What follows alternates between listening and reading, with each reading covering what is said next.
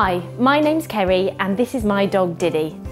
Christmas can be a fun time for everyone and as part of the family, our dogs will normally be enjoying some of the action too. But the festive season also presents lots of hidden dangers to our pets.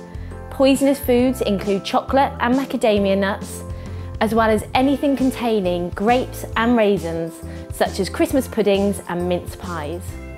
Onions, shallots and garlic can cause an upset tummy and even anemia, so please bear this in mind when dishing out leftovers to your pet on Christmas Day.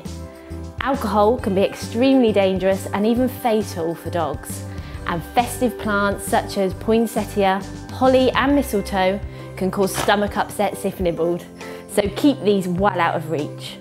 Many dogs can also find visitors and a change of routine overwhelming, so look out for those signs of stress, such as panting or pacing, and make sure that your pet has a cosy, quiet place to relax in if they want to take a break from the Christmas celebrations.